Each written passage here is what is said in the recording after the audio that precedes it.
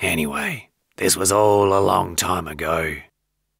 There were two kids at the farm where I worked, adventurous little brats, always into mischief, always exploring.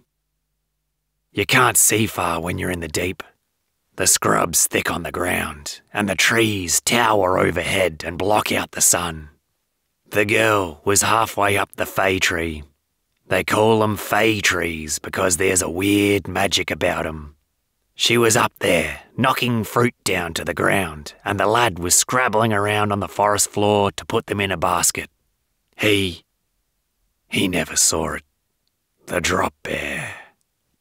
They're about as big as a wolf, probably a bit bigger, but thicker, if you get my meaning. Real muscular. More like a giant cat, maybe, with massive claws on their feet. If you came across one on the ground, you'd be okay. Their legs aren't made for running. That's not how they hunt. I think the lad knew it right at the last second.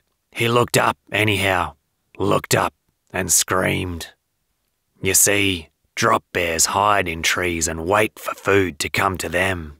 They wait, they pounce, and they kill.